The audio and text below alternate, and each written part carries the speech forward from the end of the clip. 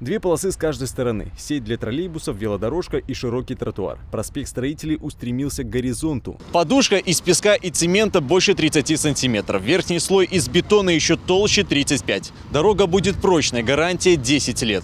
Вдоль новой магистрали вырастет целый жилой квартал. Пять многоэтажек, детский сад и развлекательный центр. Сегодня строители воплощают в жизнь первую очередь проекта. Ведутся работы э, по устройству рельефа местности.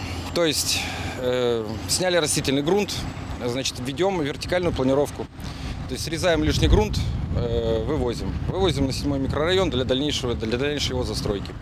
Значит, параллельно Букдеп заканчивает уборку древесной растительности. И вот ПМК 179 приступила к устройству ливневой канализации. Новый отрезок дороги свяжет между собой улицу Шинную и Ленина. Промышленная зона, которая в час пик стоит в пробке, разгрузится. Когда с Фандока едешь, 5 часов третьего светофора. А здесь напрямую будет изумительно хорошо. При повороте с Ленина на Шинную в час пик там вообще невозможно повернуть. Снизится нагрузка, конечно, хорошо будет. Нужна, конечно, район новый расстраивается и совсем неудобно. Постоянно пробки на громаш. Конечно, удобно. Здесь кипит работа. Задействованы сотни специалистов, десятки единиц техники, тракторы, экскаватор, грузовики. Новая дорога обойдется бюджету города в 6,5 миллионов рублей. Закончить обещают в ноябре. Максим Кембель, Владимир Гребеневич, Бобруйск, 360.